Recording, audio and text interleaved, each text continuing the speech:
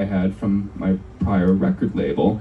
And it's amazing how two things that are so unsimilar one is romantic, one is really, I'd hope, not romantic. and the two feel that, they give me that gut wrenching feeling of not uh, being good enough or being told that you're not good enough. Fucking!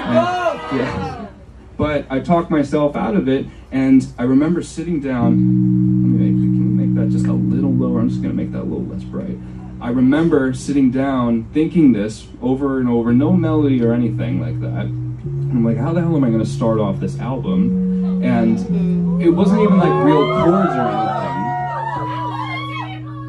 And so it was, it was, it was this, it was this keyboard. And I have the Pro Tools session up right here. If I go to the very beginning, I know these sessions at the back of my head. Oh my gosh. Oh, I'm going to. I had this really ugly snare. I'm going to play this ugly snare. Can you hear this snare? Ugh.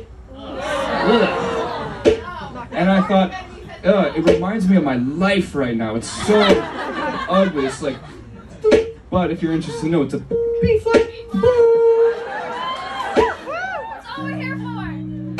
Put something beautiful against something kind of ugly, and the beautiful in my life was the realization that I was going to be okay, but the ugly, but the ugly was that snare. So I'm like, okay, I'm on. This is pre TikTok, by the way. I'm like, I should film this for someone someday, but I'll more on that later. Oh my god.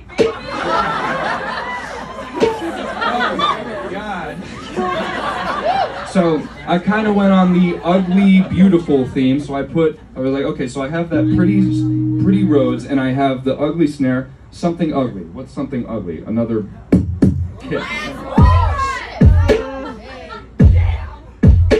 This is. That's not ugly. And then I add in the.